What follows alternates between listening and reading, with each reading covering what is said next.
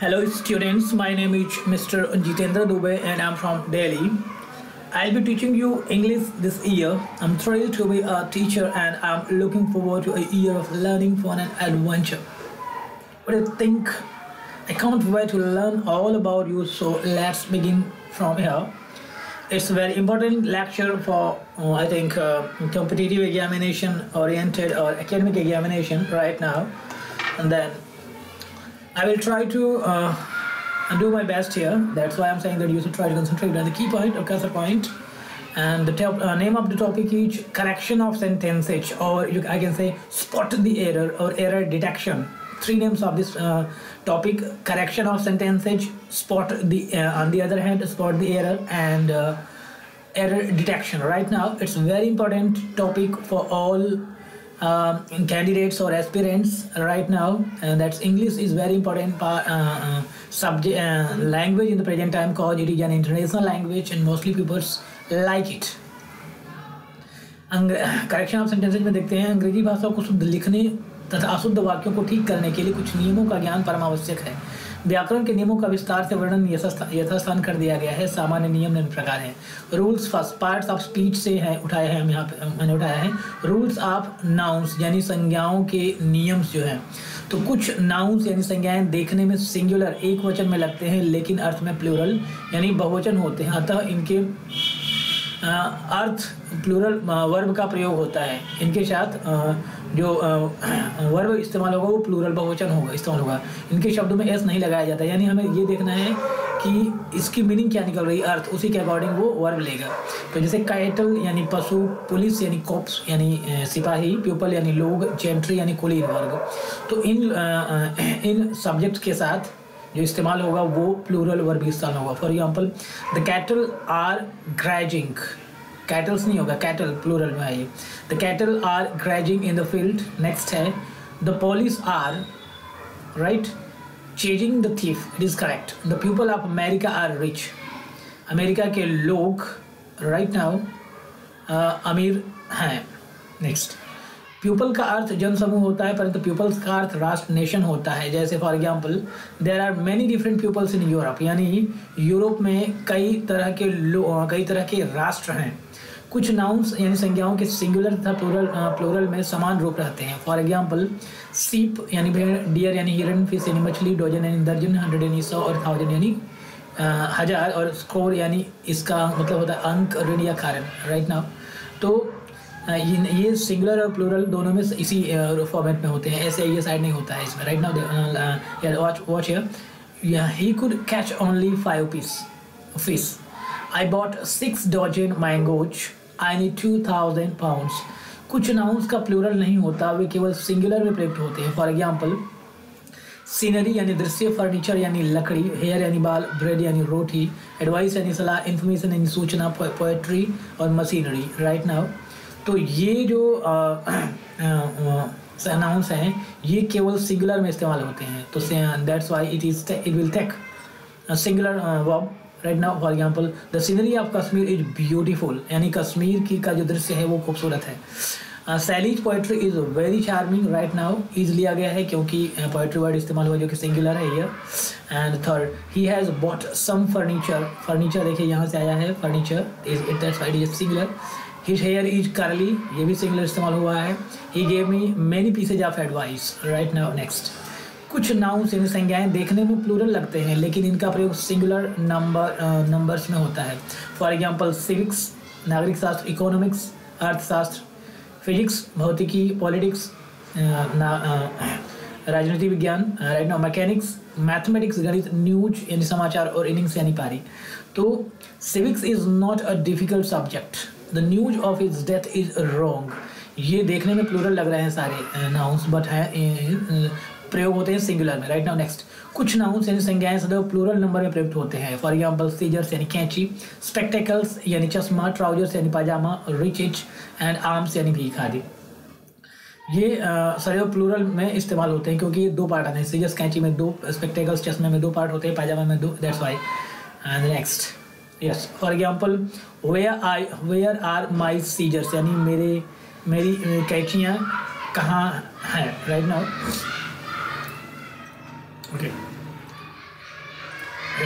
rules number six कुछ बीमारियों के नाम फॉर एग्ज़ाम्पल मम्स यानी गलसुआ मेजल्स यानी खसरा तथा खेलकूदों के नाम फॉर एग्ज़ाम्पल बिलियर्ड्स यानी अंटा बोलते हैं draughts gymnastics gymnastics etcetera nouns का प्रयोग सिंगुलर नंबर में होता है right measles has broken out in the singular measles है that's why it is taking singular verb has billiards is not is not popular in our country right now rule number seven समाचार पत्रों, पुस्तकों तथा पुस्तकों के नाम तथा कुछ देशों के नाम चाहे वे देखने में प्लूरल ही क्यों ना लगे, अर्थ में सिंगुलर होते हैं। हमें अर्थ पर फोकस होना होता है right now the United States of United States of America is a big country तो ये सिंगुलर में है that's why subject noun singular होने की वजह से verb singular the Hindustan Times is a newspaper is a famous newspaper सब noun singular that's why verb singular या now next part correction of sentences spot the error और error detection rules of pronouns यानी सर्वनामों के नियम। Pronounce वो शब्द होते हैं जो नाउन के स्थान पर इस्तेमाल किए जाते हैं। राइट नाउ किसी भी प्रोनाउन का पर्सन यानी फ़र्स्ट सेकंड थर्ड पर्सन होता है नंबर सिंगुलर प्लूरल तथा जेंडर चार होते हैं masculine feminine common and neuter अपने पूर्ववर्ती यानी एंटीसीडेंट नाउन के अनुसार आते हैं। For example every son should obey his parents right now all the boys must do their duties all the boys की वजह से ये जो प्रोनाउन इस्तेमाल हुआ देयर हुआ, और एवरी सन एवरी की वजह से ये प्रोनाउन इस्तेमाल हुआ इच जब दो सिंगुलर नाउन्स एंड से जुड़े हों और उनसे पहले इच या एवरी इच यानी प्रत्येक और, या एवरी यानी हर एक आया हो तो उसके बाद वर्ब यानी क्रिया और प्रोनाउन सर्वनाम एक वचन यानी सिंगुलर होते हैं। For example every boy and every teacher was busy in his work each book and each magazine was in its place. Right now, next, rule number three जब दो या दो से अधिक सिंगुलर नाउन्स को और आइदर और और यानी या आइदर और या तो या नाइदर नॉर न तो नौ जोड़े तो सिंगुलर प्रोनाउन का प्रयोग होता है। Sita or Rita must lend her hand either Sohan or Mohan has brought his pen neither Pramod nor Kamal has learn his lesson rule number four जब एक सिंगुलर सब्जेक्ट और एक प्लूरल सब्जेक्ट और mean या या फिर nor या न, न से जुड़े हों तो प्लूरल नाउन को बाद में लाया जाता है और प्रोनाउन यानी सर्वनाम अपने पास वाले नाउन संज्ञा के अनुसार आता है। Mean either Sohan or his friends forgot their books neither Kusum nor her brothers fail in doing their work दो या तीनों पर्सनस का प्रयोग एक ही वाक्य में करने पर उनको क्रमशः इस प्रकार लाया जाता है। Two three second person third person then first person अर्थात फ़र्स्ट पर्सन का प्रनाउन अंत में रखा जाता है। इसके लिए टू थ्री वन की संख्या याद रखें। For example you he and I are fast friends ये सेकेंड पर्सन है he third person and I first person you and I must go there he and I can never go there you and he can do this work rule number six यदि किसी noun mean संज्ञा या प्रणाम में सर्वनाम के साथ आई का प्रयोग होता है तो उनके साथ आने वाला प्रोनाउन मीन सर्वनाम first person plural first person का प्लूरल वी होता है, में रखा जाता है। और यदि किसी नाउन संज्ञा के साथ यू का प्रयोग होता है तो सेकेंड पर्सन का प्रोनाउन यानी यू आता है। फॉर एग्ज़ाम्पल प्रमोद, यानी थर्ड पर्सन है and I should learn our relations right now you second person and Pramod third person should read your books rule number seventh अगर तीनों पर्सन एक साथ वाक्य में प्रयोग किए गए हों तो उनके साथ फ़र्स्ट पर्सन का प्रोनाउन आता है। For example you he and I must do our our work यदि किसी वाक्य में to be is am are was were आदि का कॉम्प्लीमेंट कोई प्रोनाउन है तो वह हमेशा नॉमिनेटिव केस होता है। For example it is I who can help you किंतु आजकल मी का प्रयोग भी शुद्ध माना जाता है। Right now rule number nine each other यानी दो व्यक्तियों के लिए तथा वन अनदर दो से अधिक व्यक्तियों के लिए प्रयोग होता है। For example Padam and Randhir help each other right now these mean three or more children love one other one another जब किसी वर्ब मीन क्रिया का सब्जेक्ट करता रिलेटिव प्रोनाउन हो तो उसका नंबर पर्सन तथा केस अपने एंटीसीडेंट के अनुसार होता है। For example it is I who am am आया है आई की वजह से तो then it is I who am your friend this this is one of the boys who have आया है बॉयज़ की वजह से. Have stolen the books rule number eleven जब एंटीसीडेंट के पहले सेम मीन वैसे ही सच मीन जैसे का प्रयोग हो तो उसके बाद साधारणतया रिलेटिव प्रोनाउन एज आता है. मीन जैसा होता है एज का मतलब. For example this is the same pen as same आया ना that's why as this is the same pen as I give you this is such a man as such आया ना that's why as such a man as I saw yesterday. Then such as and same as. Right now, rule number 12. Who अथवा which के स्थान पर relative pronoun that का प्रयोग निम्नलिखित अवस्थाओं में किया जाता है फॉर एग्ज़ाम्पल सुपरलेटिव डिग्री के एडजेक्टिव के पश्चात this is the best that's why you hear that he can he can do all man सभी सेम यानी वैसे ही एनी यानी कोई नन यानी कोई नहीं नथिंग यानी कुछ नहीं ओनली यानी केवल आदि शब्दों के पश्चात all that glitters is not good man is the only animal that can use his intelligence next uh, who or what are the interrogative pronouns के पश्चात what is it that makes you fearless who am I that should help you. And the rule number 13 relative pronoun को जितना संभव हो सके अपने antecedent के समीप रखना चाहिए। For example I have read the poems of Shelley who watch was आया है सैली की वजह से। Who watch a romantic poem poet and rule number fourteen reflexive pronoun अकेले कभी भी किसी वर्ब का सब्जेक्ट नहीं बन सकता है। उससे पहले कोई नाउन संज्ञा या प्रोनाउन सर्वनाम अवश्य होता है। Then I myself did this work reflexive pronoun ये हैं आई का माई सेल्फ यू का योर सेल्फ वी का आवर शेल्फ ही का हिम सेल्फ सी का हर शेल्फ इट का इट सेल्फ एंड दे का themself rule number fifteen either mean या तो और नाइदर नाइदर मीन न तो का प्रयोग दो वस्तुओं या व्यक्तियों के संबंध में होता है। दो से अधिक वस्तुओं या व्यक्तियों के संबंध में एनी यानी कोई नो वन यानी कोई नहीं नन मीन कोई नहीं का प्रयोग होना चाहिए। Okay either of you can take it neither of the two pens is cheap none of the five boys can do this work. Right, next. Rule number 16 अगर वाक्य में indefinite pronoun वन का प्रयोग हुआ है तो अंत तक pronoun वंस का ही प्रयोग होता है। For example one's do one's duty it's completed second rules of noun then pronoun और third part is rules of adjective superior जिसमें सभी में आई ओ आर लेकिन आया superior junior inferior senior prior आदि शब्द जिनके अंत में आई ओ आर लगा होता है कंपेरेटिव डिग्री में ही प्रयुक्त होते हैं और इनके पश्चात देन के स्थान पर टू का प्रयोग होता है। This this person is inferior to that. He is senior to me. Prefer तथा प्रेफरेबल के बाद देन के स्थान पर टू का प्रयोग होता है। For example I prefer tea to milk superlative degree के विशेषण से पहले द का प्रयोग करना चाहिए। For example she is the best the best of all the girls double comparative तथा डबल सुपरलेटिव डिग्री का प्रयोग नहीं करना चाहिए। He is for example he is wiser than his brother right now Ramesh is the dullest boy in the class next rule number five less परिमाण यानी quantity मात्रा बताता है, परंतु फीवर संख्या यानी नंबर बताता है।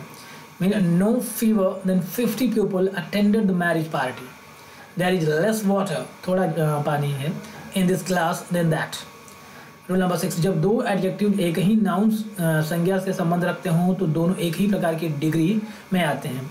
यदि एक सुपरलेटिव डिग्री में हो तो दूसरा भी सुपरलेटिव डिग्री में होगा। For example this is the best and the cheapest pen in the market. Elder और एल्डेस्ट का प्रयोग विशेषकर एक ही परिवार के व्यक्तियों के लिए होता है। अतः ओल्डर तथा ओल्डेस्ट का प्रयोग व्यक्तियों और वस्तुओं दोनों के लिए होता है। Ramesh is my elder brother right Sarla is the eldest daughter of her father this is the oldest house in the village next rule number eight later और लेटेस्ट समय टाइम के अर्थ में तथा एलिजिबिलिटी या लेटर तथा last क्रम order बताने के लिए प्रयोग किए जाते हैं। This boy enter the class later in Ram what is the latest news of the three drinks?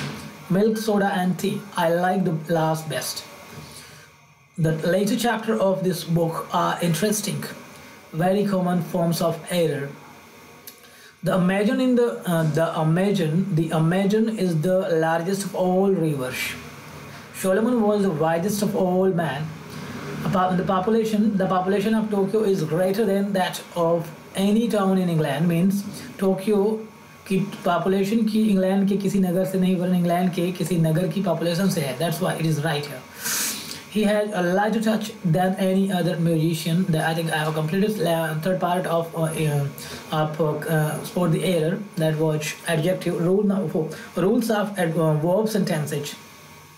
Verb यानी क्रिया अपने सब्जेक्ट विन करता है कि नंबर यानी first second plural and singular तथा person first second third person के अनुसार आता है। For example he likes mangoes they are poor she is weak and we were playing rule number second यदि दो या दो से अधिक सब्जेक्ट्स एंड से जुड़े हों तो वर्ब प्लूरल होगा। For example Hari and Mahesh are brothers Arun and Varun were present यदि दो सिंगुलर नाउन्स एक ही व्यक्ति या वस्तु को बतलाएँ तो वर्ब सिंगुलर होगा। तथा आर्टिकल्स द का द केवल पहले नाउन्स के पूर्व प्रयोग किया जाता है। For example the orator and statesman is dead जब दो सिंगुलर नाउन्स भिन्न भिन्न व्यक्तियों या वस्तुओं को बतलाएँ तो आर्टिकल दोनों के पहले तथा आएगा तथा वर्ब प्लूरल होगा। For example the orator and the statesman are dead are dead यदि दो सब्जेक्ट्स एंड से जुड़े हों तथा एक ही भाव प्रकट करें तो वर्ब सिंगुलर होगा। Bread and butter is his only food slow and steady wins the race जब सिंगुलर नाउन्स या प्रोनाउन को with together with as well as आदि द्वारा जोड़ा जाए तो वर्ब एक वचन में होता है, आता है। Mohan as well as his brother is reading his book Hari together with his friends is absent yes जब दो सब्जेक्ट्स को एज वेल एज द्वारा जोड़ा जाए तो वर्ब पहले आने वाले सब्जेक्ट के अनुसार होता है। For example he as well as I each is आया ही की वजह से। Going to the film Ram as well as his parents was आया है राम की वजह से। प्रेजेंट दिया my brother as well as my sister speak Punjabi my brothers की वजह से ये स्पीक आया है that's rule number six each यानी प्रत्येक एवरी वन यानी हर कोई मैनी अ यानी कई के साथ वर्ब एक वचन में आता है। For example each of the boys has completed work. Many a man had done so. Yes. And the rule number seven यदि प्रिंसिपल क्लास यानी प्रधान उपवाक्य का वर्ब क्रिया भूतकाल पास्ट टेंस में हो तो आश्रित उपवाक्य यानी सबॉर्डिनेट क्लास का वर्ब भी भूतकाल पास्ट टेंस में होगा। For example Hari told me that Ram was writing a book next rule number eight यदि सबॉर्डिनेट क्लास यानी आश्रित उपवाक्य में कोई शाश्वत सत्य यानी यूनिवर्सल ट्रुथ या कोई आदत मीन हैबिट या स्वभाव संबंधी तथ्य मीन हैबिचुअल फैक्ट हो तो वर्ब यानी क्रिया के टेंस में कोई परिवर्तन नहीं होता। चाहे प्रिंसिपल क्लास यानी प्रधान उपवाक्य का वर्ब भूतकाल में हो। For example the teacher said that the earth the earth is round rule number nine if mean यदि या वेन मीन यदि वेन मीन कब जब भी होता है, सिर्फ़ आरंभ होने वाले क्लाज यानी खंड में सिंपल प्रेजेंट तथा प्रिंसिपल क्लाच प्रधान उपवाक्य में सिंपल फ्यूचर का प्रयोग करना चाहिए। For example if she work hard right now she will succeed if you come come I will go yes yesterday के साथ पास्ट टेंस तथा टुमारो के साथ फ्यूचर टेंस का प्रयोग कर होता है। जैसे for example he came here yesterday the next rule number six it's very important rule of the adverbs यानी क्रिया विशेषण के नियम। एडवर्ब्स वो शब्द होते हैं जो नाउन प्रोनाउन और इंटर इंटरजेक्शन को छोड़ के सभी पार्ट्स ऑफ़ स्पीच की विशेषता बतलाते हैं। It's very simple definition of adverbs कुछ रूल नंबर वन कुछ adverbs of time for example always यानी हमेशा एवर यानी हमेशा ऑफन यानी कभी कभी सेल्डम इन कभी कभी नेवर इन, कभी नहीं। आदि उन क्रियाओं के पहले प्रयुक्त होते हैं जिनको वे मॉडिफाई करते हैं। For example he always speaks he always speaks the truth she often comes late often ये एडवर्ब है और कम्स क्रिया ऑलवेज एडवर्ब्स है स्पीक्स वर्ब है. लेकिन ये एडवर्ब्स यानी एडवर्ब्स ऑफ़ टाइम सदैव verb to be is am are was verb के बाद में उपयुक्त होते हैं, प्रयुक्त होते हैं। For example he is never late transitive verb यानी सकर्मक क्रिया वैसे सेंटेंस जिसमें कर्म हो, के साथ एडवर्ब्स यानी क्रिया विशेषण का प्रयोग, उसके साथ ऑब्जेक्ट कर्म के बाद होता है। For example he beat me severely subject main verb object and then adverb right now object की अवेलेबिलिटी की वजह से ट्रांजिटिव वर्ब हुआ नेक्स्ट जब कोई एडवर्ब किसी इंट्रांजिटिव वर्ब यानी अकर्मक क्रिया, ऐसा सेंटेंस जिसमें कर्म नहीं है को मॉडिफाई करता है तो वह ठीक उसके पश्चात प्रयुक्त होता है. For example he ran quickly she went fast ये वेंट वर्ब है फास्ट एडवर्ब रेन वर्ब है, और क्विकली एडवर्ब या रूल नंबर फोर जब किसी वाक्य में सहायक क्रिया तथा मुख्य क्रिया दोनों का प्रयोग हो तो एडवर्ब उन दोनों के बीच में आता है. For example I have often told him to visit that place often adverb है.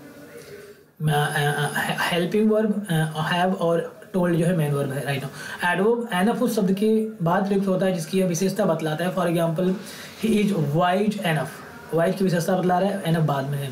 To do this work uh, rules of conjunction. It is last part of spot the error or error detection or correction of sentences. Rules of conjunctions. Rule number one either or या तो या neither न और न तो न not only but also न केवल, बल्कि भी प्रायः जोड़े में प्रयुक्त होते हैं। For example Nehru was not only a politician but also a writer neither the teacher nor the students were present either you or your brother must go there rule number second though के साथ yet आता है but का प्रयोग नहीं होता mean though yet though he was poor comma yet he was honest note though के पश्चात येट को हटाया भी जा सकता है। For example though he was poor comma he was honest though mean हालाँकि यद्यपि दो या आल दो दोनों का मतलब होता है हालाँकि या फिर यद्यपि। और येट का मतलब होता है अभी भी। नो शूनर के पश्चात वर्ब का प्रयोग इंटरोगेटिव वाक्य की भांति होता है और इसके बाद देन का प्रयोग होता है, यानी no sooner than though yet no sooner than देखिए, no sooner did he see the lion than he ran away no sooner did the tiger appear than he shot it that down no sooner had she right had she read the telegram than she fainted next rule number four scarcely यानी मुश्किल से या hardly मुश्किल से के पश्चात when आता है न कि देन जैसे for example hardly when scarcely when for example he had scarcely और hardly enter the village when his father that rule number five किसी प्रश्नवाचक शब्द for example what how why when where आदि के पूर्व दैट नहीं लगाया जाना चाहिए। For example I asked him why he was late right now rule number six unless यानी जब तक की न बेट शर्त के लिए और अनटिल मीन जब तक की न टाइम समय के लिए। के साथ नॉट का प्रयोग नहीं होता अनलेस जब तक की न बेट शर्त तथा अनटिल टाइम जब तक की न समय बताता है। For example he can't succeed unless he work hard यानी इसके पहले वाले पार्ट में नेगेटिव आ सकता है बट इसके बाद वाले पार्ट में नहीं। Wait here until I I come next rule number seven when और इफ़ के पश्चात देन का प्रयोग नहीं होता है। देन के स्थान पर केवल कॉमा लगा होता है। देन का मतलब होता है तब या फिर फिर। If I go there comma I will call you if dash dash comma when dash dash comma if यानी यदि वेन यानी कब जब। नोट सब ऑर्डिनेट तथा प्रिंसिपल क्लास प्रधान उपवाक्य दोनों में विल या सेल का प्रयोग नहीं किया जाता। केवल प्रिंसिपल क्लास प्रधान उपवाक्य में विल या सेल लगाया जाता है। Correct when you come comma I will I shall go there right now rule number eight and last lest less mean कहीं ऐसा न हो कि इसकी मीनिंग होती है के साथ सुड आता है और नॉट का प्रयोग नहीं होता। Walk slowly lest you should fall right now then I think I have successfully completed. uh, correction of sentences or uh, I have successfully completed uh, correction of uh, sentences or spot the error on the other hand error detection correction of sentences it is it's very important part of English grammar right now. Thank you so much for watching this video. Please like, subscribe and share my study channels and videos. Thank you so much in advance. If you want to watch lots of rich study material, then you should go on study channels. Study channels provides you lots of rich study materials for competition and academic studies right now.